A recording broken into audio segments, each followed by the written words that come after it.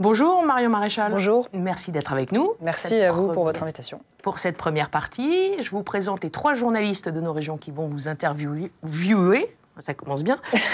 C'est dur à dire en Alors, pas tant que ça. Donc, euh, cette semaine, Mathieu Villeroy de Gallo, euh, qui est responsable des agences de Lyon républicaine du groupe Centre France et qui représente la Bourgogne-Franche-Comté, est parmi nous, de retour Bonjour parmi Marie. nous. Bonjour, Mathieu. Bonjour. Julien Lécuyer également, euh, chef du bureau de Paris de la Voix du Nord, qui représente les Hauts-de-France, est également de retour. Bonjour Julien. Bonjour Marie, bonjour Marion Maréchal. Ainsi que Baptiste Bise, directeur adjoint de la Nouvelle République euh, dans la Vienne, qui représente, on va dire, la Nouvelle-Aquitaine. Et le centre Val-de-Loire. Et le centre Val-de-Loire, la Bonjour Nouvelle Marie, République. bonjour Madame Marie. Voilà, les présentations sont faites. Avant de rentrer dans le vif du sujet, vous savez qu'il y a un petit questionnaire de Proust ici. Et c'est Mathieu Villeroy de Gallo qui commence. Oui Madame, une question euh, toute simple. Quelle est votre figure politique que vous détestez le plus Que je déteste le plus Oui. J'ai pas de détestation de manière générale. Pas Alors de- celle qui, dont vous vous sentez peut-être le plus éloigné. Ah bah à l'heure actuelle, c'est indéniablement plutôt les, les élus de la France insoumise, qui ont une vision totalement antagoniste euh, à la mienne, euh, post-France, une France multiculturelle, euh, islamisée. euh, donc euh, non, oui, en effet, je dirais les LFI. Et préféré? Bah, je dirais pff, dans les figures inspirantes, qui ne sont pas d'ailleurs forcément des figures euh, politiques, mais euh, le- les, les différentes euh, comment dire, actualités autour de la panthéonisation de certaines personnalités m'ont fait penser à Honoré d'Estienne parce que ça c'est quand même aussi un grand résistant, et c'est toujours cette partie de la résistance plutôt monarchiste, catholique, euh, qu'on a du mal à honorer et qui, euh, elle, n'entre jamais au Panthéon, malheureusement. Et Olympe de Gouges? Et Olympe, alors je vais vous surprendre, j'ai fait moi mon, mon- ce qu'on appelait, le TPE, je sais pas si vous avez de troisième, qui est un peu l'exposé de troisième sur Olympe de Gouges. Donc figure que je découvre à cette époque, et c'est à ce moment-là que je trouve ce prénom très joli et que j'appelle ma fille Olympe euh, parce que je découvre cette figure d'Olympe de Gouges.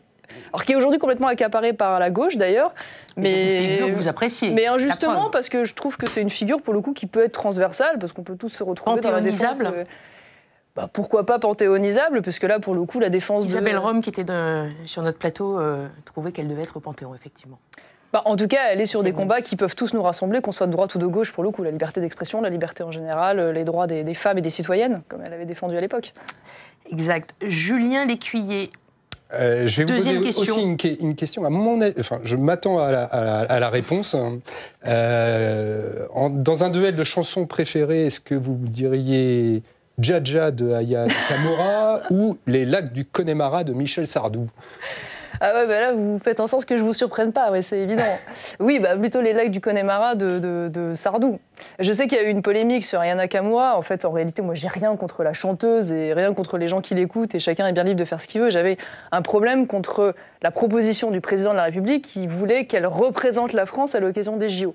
Et là, je trouvais qu'en effet, au regard de- du style de ses chansons, de, de son, de son style de langage, voire du contenu de ses chansons, euh, pas toujours très élégant, je trouvais que c'était pas très à propos. Voilà. Le, le langage, qu'est-ce qui vous choque dans ce, dans ce langage qui est une sorte de langage en effet un peu inventé? Bah, c'est que c'est tout simplement pas en langue française. Voilà, et je trouve que pour représenter la France, bah, autant prendre un artiste quand même qui, euh, qui magnifie la, la langue française. Or là, c'est c'est pas le cas. Et Michel Sardou, ça aurait été euh, pas trop Michel clivant Sardou, je pense qu'il aurait fait davantage l'unanimité, mais il n'y a pas que lui. D'ailleurs, on a interrogé les Français sur, euh, sur le sujet. Je crois qu'ils ils ont cité euh, Florent Pagny, euh, par exemple. Ils ont cité Jean-Jacques Goldman. Ils ont cité Clara Luciani. Ils ont Mais cité Soprano. Voilà. Bon, Marion Maréchal, quand je vous cite par exemple euh, et la fauchonne, conne du Mouloud, lavabo trottoir Mouloudji, merde in France, capaboum, capaboum, ça vous inspire quoi? Ça m'inspire euh, quelque chose de... qui ne reflète pas, j'imagine, l'intégralité de l'œuvre de, celui à qui vous faites référence. Voilà. C'est qui Bah, c'est Sardou, j'imagine. C'est Ah. Jacques Dutronc. C'est Jacques Dutronc Ah ouais, bon. 1984. Ok, bah, Est-ce que c'est oui. si grave de manipuler la langue française Bah, disons qu'il y a plusieurs choses déjà chez Ayana Kamura qui me fait dire qu'elle ne pouvait pas représenter euh, la France à l'occasion des JO. Premièrement, c'est marrant parce qu'on parle en ce moment beaucoup du, du, narcotrafic et du développement du trafic de drogue en France. Vous savez quelle est la première chanson qui a fait connaître Ayana Kamura?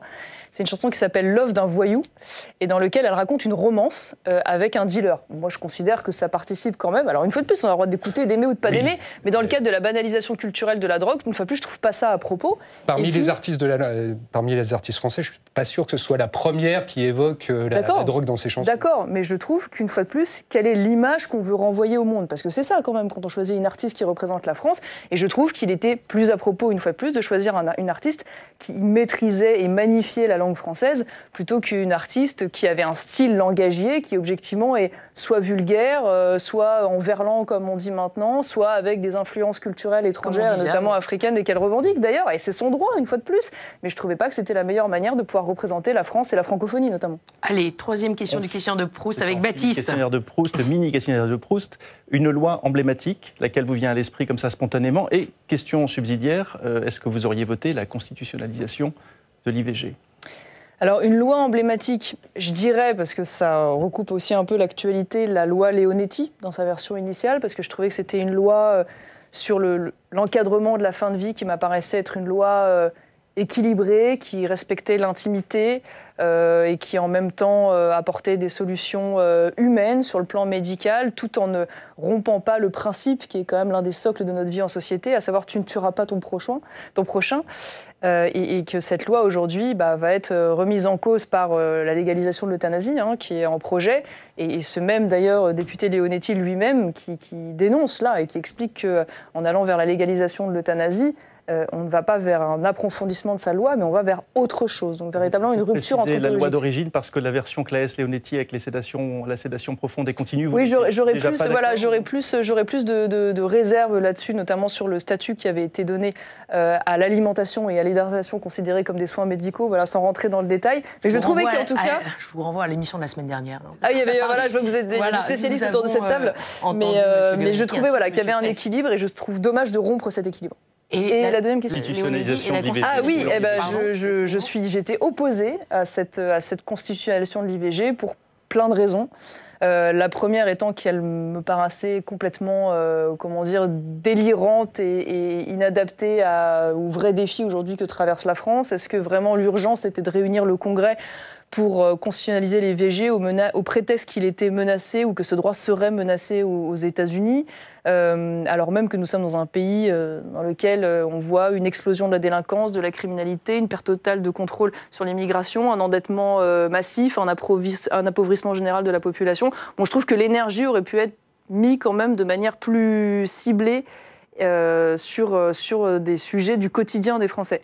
Ensuite, pour moi, il y a quand même un deuxième sujet, c'est que la Constitution, c'est euh, euh, comment dire les grandes libertés fondamentales qui nous rassemblent, c'est le pacte social finalement qui nous unit, c'est l'organisation institutionnelle.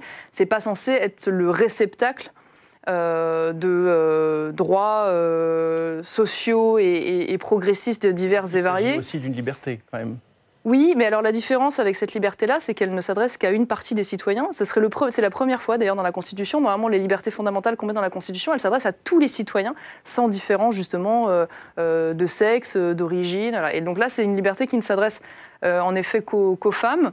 Et, je crains, et je vous le dis, qu'on ait ouvert la boîte de Pandore, c'est-à-dire je, je, mets ma main à couper, qu'à partir du moment où on est rentré euh, dans ce domaine, euh, d'ici quelques années, bah, pourquoi pas d'ailleurs, vous verrez la constitutionnalisation de l'euthanasie, au prétexte que ce droit serait menacé, je ne sais pas où, en Australie. Vous verrez peut-être demain la liberté de pouvoir changer de sexe parce que cette liberté serait menacée en Argentine. Enfin, on peut à ce moment-là être dans une espèce de fuite en avant et mettre tout et n'importe quoi dans la Constitution.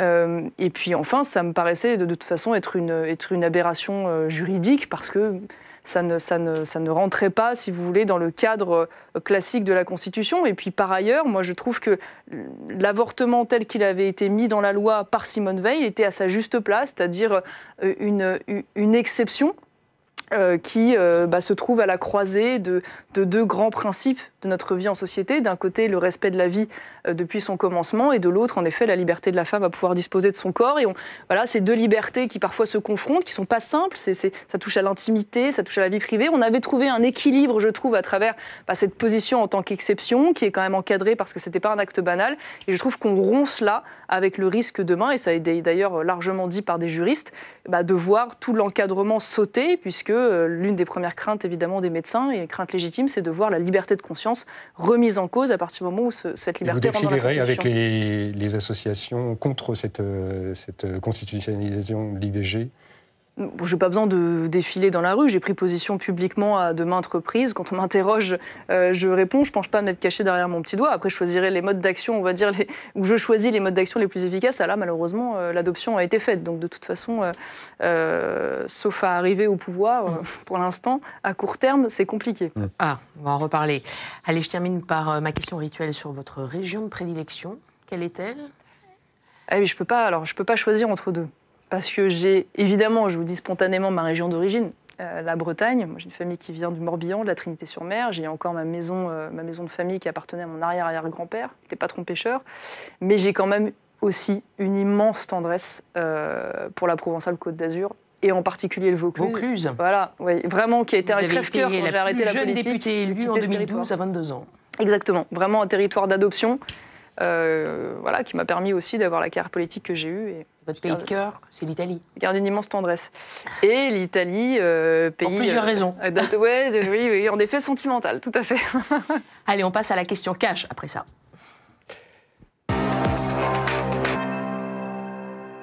Oui, Mario Maréchal. Les Autre gens... rituel, effectivement, la question cash, et c'est Mathieu qui prend la main. Allez-y, Mathieu. Euh, je vais citer votre grand-père, Jean-Marie Le Pen, qui disait que les gens euh, préfèrent l'original à la copie. Euh, pour les européennes, il faut viser 5% pour commencer à avoir euh, un député. Ce n'est pas forcément gagné pour vous. Est-ce que finalement vous avez bien fait de quitter le RN alors déjà, les sondages nous donnent en moyenne à 6%. Hein. donc aujourd'hui, 6%, c'est 6 députés européens. Et je pense que tout le monde doit se garder euh, de considérer que le, les sondages d'aujourd'hui seront les résultats électoraux de demain. Enfin, je pense que vous êtes des observateurs de la vie politique. Vous vous souvenez qu'aux dernières élections, l'écologiste Yannick Jadot était à 5-6 tout au long de la campagne. Il aura fini à 13. Et à l'inverse, François-Xavier Bellamy, qui était à 15 puis 13, aura fini à 8. Tout le monde sait qu'évidemment, rien n'est écrit en, en trois mois de campagne. Donc moi, je suis convaincu, vous le verrez, que nous, nous saurons euh, créer la, la, surprise. Vous visez Ensuite, moi, combien? Je... Vous visez combien? Vous visez non, combien mais je de députés? Je me fixe pas un objectif de député, je fixe d'avoir des élus et que le mouvement que je représente et que les idées que je défends, et, et je vais y revenir euh, tout de suite, soient le plus, les, plus, les mieux représentés et avec leur maximum d'élus au Parlement européen pour une raison simple, c'est qu'aujourd'hui Reconquête appartient à un groupe européen qui s'appelle l'ECR, les conservateurs européens. Le CR, c'est 17 nationalités, c'est 4 gouvernements, probablement 5 avec le Victor Orban au lendemain des élections. C'est le groupe le plus influent à droite. C'est le groupe qui peut faire et défaire la majorité demain au Parlement européen et qui peut battre le groupe des macronistes. Donc c'est un groupe qui est euh, incontournable et décisif dans la nouvelle majorité demain que nous pouvons installer. Et Reconquête a donc un rôle important demain pour pouvoir passer d'une Union européenne aujourd'hui gouvernée par le centre et la gauche, voilà, depuis des décennies, hein, euh, à une Union européenne gouvernée euh, à, droite, hein. à, droite, Oui, enfin moi je considère que on, là je parle du centre. Objectivement, le PPE, euh, en effet, vous avez raison, qui est le groupe DLR, qui, est, qui est pour moi au centre et qui est allié au PS, ponctuellement aux écologistes et aux macronistes. C'est la majorité d'Ursula von der Leyen aujourd'hui. Euh, et, et, ce que je crois, vous savez, moi, je ne fais pas des choix politiques en fonction des calculs, parce que selon ce raisonnement-là, j'aurais mieux fait d'aller directement chez Emmanuel Macron dans ce cas-là. Mmh. Or, ce n'est pas mon sujet. Mon sujet, quand je suis revenu en politique à l'occasion des élections présidentielles pour soutenir Éric Zemmour, après cinq ans euh, hors de la politique, c'était où est-ce que je peux défendre au mieux les idées auxquelles je crois qui étaient déjà les idées que je défendais en réalité au Rassemblement national, et qui n'était pas forcément euh, entendu et, et, et, défendu à l'époque. Et, si donc, vous faites moins de 5%, vous arrêterez de nouveau la politique? Non, non, j'arrêterai pas la politique. D'ailleurs, je ne crois pas qu'on fera moins de 5%, j'en suis même convaincue. Mais je, non, j'arrêterai pas la politique parce que le combat que je mène, il perd pas de, son, euh, de sa pertinence au lendemain du 10 juin. Au contraire.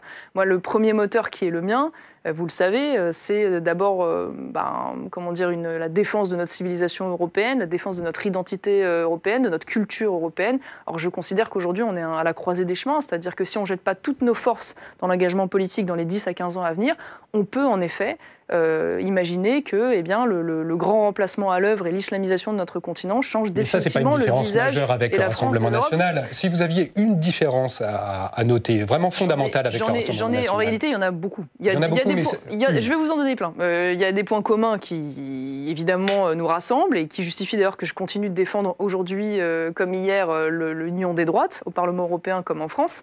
Mais il y a aussi des différences qui justifient que nous ne soyons pas dans le même parti. Je pense à des différences économiques, déjà, notables. Pour faire simple, aujourd'hui, Reconquête est un parti euh, plus libéral. Libéral, oui. Euh, voilà, qui euh, est, très engagé dans la question de la lutte contre les dérives de l'assistanat, sur la baisse des charges et des impôts, sur des réformes de l'État beaucoup plus ambitieuses que ce que propose aujourd'hui le Rassemblement national, par exemple. Donc ça, c'est une première chose. Des différences notables également sur les questions dites de société. On a parlé à l'instant de la constitutionnalisation de l'IVG. Bon, bah, je ne me suis pas caché derrière mon petit doigt, vous l'avez vu, j'étais contre cette constitutionnalisation, qui est un mot difficile à dire aussi, et, euh, et, et, contre la légalisation de, de, l'euthanasie. Euh, nous sommes très engagés aujourd'hui aussi à Reconquête contre tout ce qui relève de la propagande woke, euh, l'activisme LGBT, que ce soit au Parlement européen ou dans la société française, dans les écoles.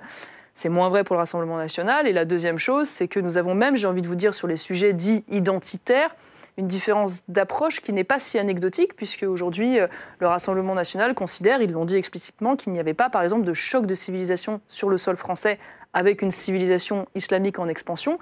Moi, je pense l'inverse. Et je pense même, contrairement à ce que peut dire le Rassemblement national en disant que l'islam n'est pas incompatible avec la République, qu'il y a au sein de l'islam des préceptes qui ne sont pas compatibles avec les sociétés démocratiques et, les sociétés européennes qui sont les nôtres. D'où le fait que je ne souhaite pas que cet islam devienne majoritaire en France, et d'où le fait euh, euh, que je suis très engagée sur le refus finalement des offensives politico-religieuses dans l'espace public portées par certaines organisations islamiques. Et qu'est-ce que vous appelez l'activisme LGBT ah bah, L'activisme LGBT, c'est typiquement, oui, c'est typiquement bah, toute la mécanique à l'œuvre. On le voit par exemple dans les écoles, avec des associations aujourd'hui agréées par l'éducation nationale qui viennent défendre typiquement la théorie du genre auprès, des, jeunes mineurs, que je considère moi être une, certainement pas une donnée scientifique, mais euh, une propagande euh, qui relève de, la sociologie euh, politique et qui, je pense, a des effets dévastateurs sur le plan psychologique et moral pour les enfants, les poussant parfois à des transitions de genre dont on voit les effets délétères et dont certains pays étrangers sont en train aujourd'hui de revenir. on voit aussi dans l'activisme LGBT, on en a beaucoup parlé par le passé, cette offensive menée par ces associations, typiquement pour faire légaliser la GPA. Euh, en France comme en Europe, donc les fameuses mères porteuses, qui pour moi est une régression extraordinaire du, statut de la femme et de sa dignité en entraînant une marchandisation du corps humain et de l'enfant. Donc voilà, quelques exemples. Vous n'êtes pas sur la ligne du vice-président de la Douma qui parle de perversion non, je parle pas. Non, mais moi, mon sujet, c'est pas du tout la, vie personnelle des gens, et chacun est bien sûr libre de faire, euh, de faire ce qu'il veut, d'aimer qui il veut. C'est pas mon sujet. Là, moi, je parle vraiment de ce qui relève d'offensive, d'un activisme militant, d'un activisme politique. Je parle de militants politiques. Je parle pas de personnes qui sont euh, des homosexuels dans leur vie privée. Ça n'a rien à voir. S'il y a une différence à, noter aussi, est-ce que vous pouvez euh, en noter une sur, sur la position à avoir vis-à-vis de la Russie dans le conflit en Ukraine? Je sais pas. Là, pour, vous êtes sur le rassemblement, pour le Rassemblement national, euh, je sais pas. J'ai pas. J'ai vu des choses un peu diverses et variées, donc je ne sais pas quelle est leur position. Euh, on va dire euh, officielle. Moi, je peux vous, je peux vous donner. En, tout cas, voilà. Je peux vous donner la mienne. voilà. Moi, je, depuis le début, je dis que je souhaite déjà la victoire de l'Ukraine. Je pense qu'évidemment, c'est tout à fait légitime que l'Ukraine puisse euh, euh, comment dire, défendre sa souveraineté et, ses territoires euh, envahis dans le respect du droit international. Pour ce faire, je considère que la France, comme l'Europe, bien sûr, peut apporter un soutien qui doit être un soutien humanitaire, un soutien logistique, un soutien financier, mais je considère qu'il y a des lignes rouges aussi. Et les lignes rouges, c'est d'une part la troupe au sol. la, troupe au sol, bien évidemment, parce que ce qu'il faut bien comprendre, c'est que là, on parle beaucoup de l'esprit munichois et de la Seconde Guerre mondiale, mais là, l'Ukraine, c'est pas la Seconde Guerre mondiale, c'est la Première Guerre mondiale, c'est les guerres de tranchées avec les drones. C'est un massacre. Je veux dire, il y a près de 60 000 ou 70 000 Ukrainiens qui ont été tués, 120 000 blessés. Envoyer des troupes au sol là-bas, au-delà du risque majeur pour les soldats euh, euh, français dans une guerre qui n'est pas une guerre directe avec la France, il faut quand même le dire et le répéter, c'est évidemment le risque d'un engrenage militaire dont on ne connaît pas euh, l'issue, surtout face à une puissance nucléaire, rappelons-le, qui est dans un état d'esprit manifestement, les derniers propos du vice-président de la Douma le rappellent, extrêmement belliqueux. Donc ça, c'est une première chose. Et d'ailleurs, ça a été, semble-t-il, très contre-productif, puisque là où Emmanuel Macron voulait euh, manifestement euh, jouer au chef de guerre, il n'a fait non seulement qu'isoler la voix de la France, mais même affaiblir, j'ai envie de dire, la voix européenne, puisqu'il a prouvé à Vladimir Poutine que la France était bien seule à vouloir envoyer potentiellement des troupes. Et donc, euh, Mais au-delà du, au du non-envoi donc des troupes, donc ça, au sol, quelle, est l'autre ligne rouge Et les deux autres, c'est l'intégration à l'OTAN que même les Américains d'ailleurs ne, souhaitent pas, puisque mécaniquement intégrer l'Ukraine à l'OTAN, euh, bah, c'est déclencher une guerre. Hein. Ça, pour le coup, c'est sans appel. Et puis la troisième chose, c'est l'intégration de l'Ukraine au sein de l'Union européenne. Mmh. Pourquoi? Euh, Parce que entrer, faire entrer l'Ukraine au sein de l'Union européenne, c'est faire entrer l'Ukraine dans le marché euh, commun européen, c'est-à-dire mettre mécaniquement en concurrence nos agriculteurs en particulier, avec euh, la super production agricole de l'Ukraine. Je rappelle que le salaire moyen en Ukraine, c'est à peu près 340 euros et le salaire minimum, c'est autour de 200 euros, euh, euh, sans parler des différentiels évidemment sur le plan fiscal. Madame Maréchal, on, a bien compris quelles étaient les lignes rouges que vous fixiez à Emmanuel Macron. Tant mieux si vous avez bien compris. En revanche, on vous entend assez peu sur les lignes rouges que vous fixez à Vladimir Poutine. Bah, je viens de vous les donner, les lignes rouges. Les lignes rouges, non, mais bien évidemment. Vis-à-vis de Vladimir Poutine, parce que aujourd'hui, on, on pense que cette guerre, effectivement, elle risque d'être gagnée par la Russie. Donc le problème, il va être quand même entier et pour tous les pays effectivement de l'Ouest. Donc effectivement, on peut dire il ne faut pas que le président de la République française fasse ça et je suis, mais il faut aussi être assez clair sur euh, comment est-ce qu'on arrête effectivement la Russie dans son eh bien, c'est C'est très clair. C'est-à-dire que moi, je considère que vouloir et souhaiter la victoire de l'Ukraine ne doit pas impliquer pour autant de faire la guerre à la place de l'Ukraine. Donc, les marges de manœuvre doivent être, euh, on va dire, équilibrées. C'est ce que je vous ai dit à l'instant. C'est-à-dire, d'un côté, se donner, lui donner les moyens de résister au maximum pour je l'espère, pouvoir négocier aussi dans les meilleures conditions quand peut-être le temps de la diplomatie Vous répondez encore à la première question, pas à celle de... Bah non, mais qu'est-ce que je bah, peux fixer comme ligne rouge? Moi, je voulais pas que l'Ukraine envahisse la ligne rouge. Je voulais pas, je voulais pas que la Russie, je voulais pas que la Russie envahisse l'Ukraine. Donc la ligne rouge, elle était celle-ci, elle a été dépassée. Maintenant, on est face à une situation où qu'est-ce qu'on fait? Je veux dire, euh, moi, je veux, je veux bien. Ça, ça m'amuse d'ailleurs parce que je, comprends votre question derrière. Vous me dites en gros comment on fait pour que euh, pour stopper Vladimir pour stopper Vladimir Poutine. Mais je pose la question à l'inverse. D'ailleurs, je m'amuse beaucoup de voir tous les plus bellicistes aujourd'hui. Je vois une partie de DLR, je vois Emmanuel Macron, je vois la gauche de, de M. Glucksmann euh, euh, être très très offensif dans l'envoi de potentiel de, troupes et dans, dans l'intégration de la France dans cette guerre. Euh, qui sont tous les mêmes d'ailleurs qui depuis des décennies ont désarmé la France et, largement affaibli l'armée française. C'est quand même un paradoxe euh, dans, ces, prises de position. Moi, ce que je veux dire, c'est que si on entre en guerre, Déjà, est-ce que tout le monde est prêt à assumer que demain on se prenne un missile russe sur la tête pour une guerre qui n'est pas directement la nôtre? Enfin, je dire très bien, mais alors dans ce cas-là, qu'ils le disent aux Français et qu'ils l'assument politiquement. Et ensuite, pour si on va en guerre, il faut être capable de la gagner. Je vous le dis aujourd'hui, la France produit à peu près 2000 obus par mois, quand l'Ukraine en consomme 60 000 par mois. On a à peu près 200 chars aujourd'hui en France, 10 par jour sont détruits en Ukraine. Donc aujourd'hui, aller expliquer que la France toute seule, euh, avec ses gros bras, pourrait euh, stopper la Russie, ça n'est pas vrai. Donc à part prendre le risque, une fois de plus, d'un engrenage vers une guerre euh, dont on ne connaît pas l'issue, bah, vous, oubliez, vous, oubliez, dans votre raisonnement, madame, que la France est une puissance nucléaire, ce que ne sont pas les autres pays européens. donc c'est ça qu'on veut faire on veut rentrer dans un conflit nucléaire. Je veux dire, objectivement, c'est déraisonnable. Voilà, une fois de et plus, que les Français craignent. On a un sondage. Solidarité n'est pas le suicide. Sondage Doxa, 72% des Français euh, craignent une attaque militaire, même sur la France. Un sondage euh, assez récent. Voilà, je vous propose de le regarder. 72% des Français redoutent une attaque militaire. Euh, concluons le chapitre international. Mhm. Certes, euh, nous sommes dans extra-local, mais dans extra-local, il y a aussi local. Et euh, on va parler un peu de sujets plus locaux et nationaux. Euh, notamment, revenons sur le déplacement d'Emmanuel Macron à Marseille et son opération Place Net XXL qui sème dans plusieurs régions, dont la vôtre, Baptiste Bise. Regardez ce reportage à Tours, on en reparle. Ce matin, c'est Place Net dans le quartier du Beffroi à Tours-Nord. De 5h à midi, les forces de l'ordre sont intervenues dans tout le quartier pour lutter contre l'insécurité et le trafic de drogue, ce qui rassure certains riverains. Ah ben le soir, à partir de 10h jusqu'à 4h du, 3h du matin, c'est le bordel. Je les vois là, c'est la première fois que je les vois. Ah oui, ça me fait plaisir. Ces opérations sont menées depuis fin 2023 et ciblent en priorité les points de deal. Aujourd'hui, plusieurs services de police collaborent pour chercher des traces de substances. Euh, suite à soit des informations par les riverains ou autres, euh, ou les points de deal qui sont répertoriés, donc on procède à, des, fouilles de caves ou de parties communes à la recherche de stupéfiants. Pour cela, ils peuvent compter sur deux malinois des brigades cynophiles. Si les animaux perçoivent une odeur de stupéfiants, les forces de l'ordre, sous couvert de flagrant délit, peuvent entrer dans les logements. Grâce à une réquisition judiciaire déposée par la procureure de Tours, qui autorise les contrôles d'identité et les fouilles toute la journée dans le quartier.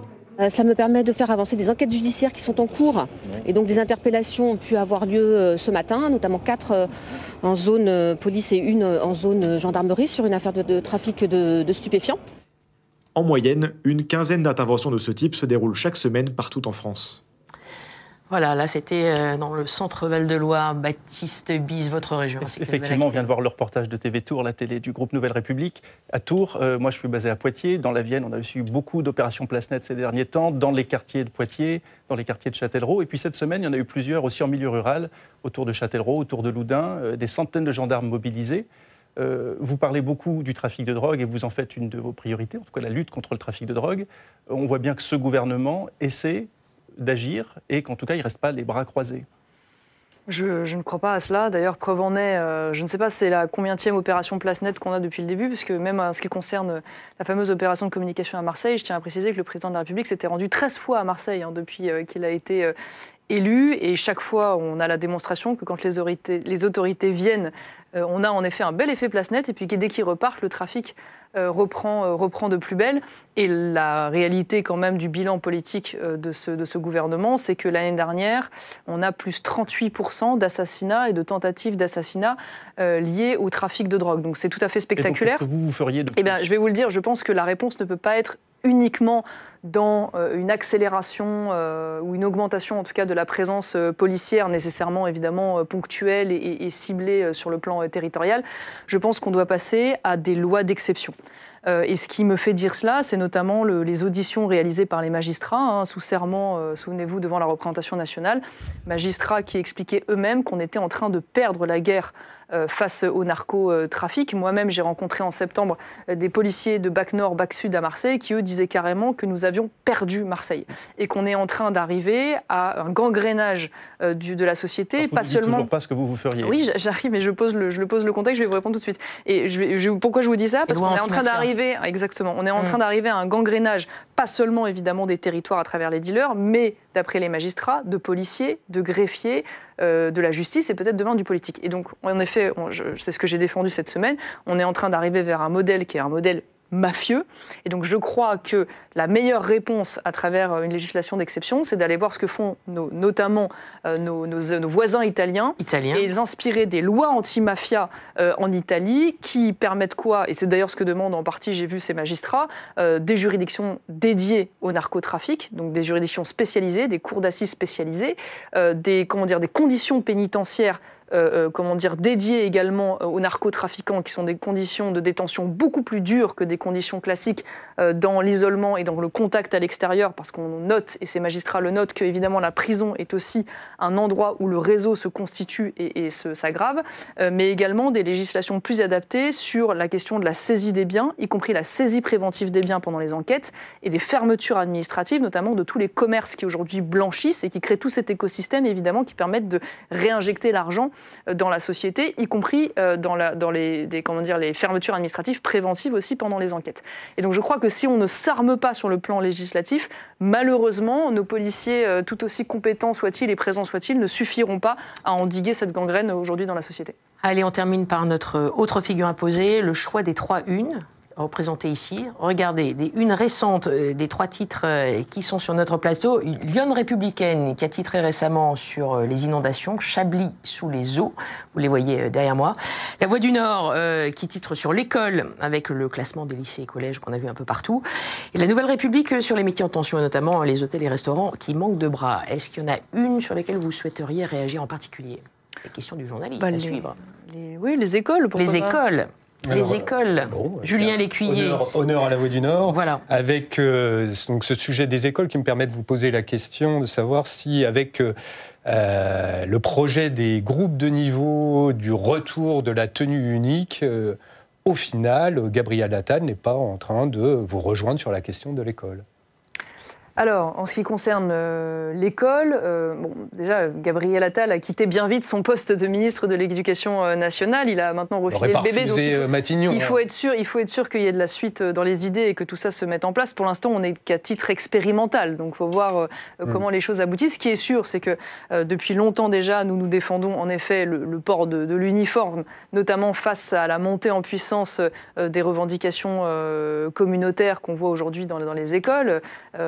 Euh, je pense qu'il y a aussi la nécessité de remettre en place, et ça pour l'instant ils n'en parlent pas du tout, une, sélection euh, au niveau de la fin du primaire euh, avec un certificat d'études de la fin du collège, avec un véritable brevet sélectif qui conditionne l'entrée au lycée et un baccalauréat rehaussé en termes de niveau, avec qui permettent aussi une sélection à l'entrée de l'université. Je pense que ce modèle méritocratique de la sélection et, du, diplôme et du concours doit être revalorisé, ce qui n'est pas le cas aujourd'hui. Et évidemment, euh, les groupes de niveau qui doivent être la fin du collège Donc ça unique. satisfait. Donc, Disons que ça va ah le bah bon sens selon si vous. Ça aboutit, si ça aboutit, ça va dans le bon sens. Encore faut-il en effet que ça aboutisse et que ça ne reste pas uniquement au titre expérimental. Maintenant, j'irai un peu plus loin. Je vais vous dire, là-dessus, je ne plais pas à tout le monde, mais je considère que si on veut réussir à réformer l'école publique, et je le souhaite bien évidemment, parce que si on continue comme ça, ce sera le déclassement de toute la nation qu'on va, qu'on va voir à l'œuvre, c'est que je ne suis pas une adepte de la concurrence à tout craint dans tous les domaines. Mais je pense que pour le coup, euh, dans ce qui concerne l'école, ce serait bénéfique. C'est-à-dire que je crois qu'aujourd'hui, il faut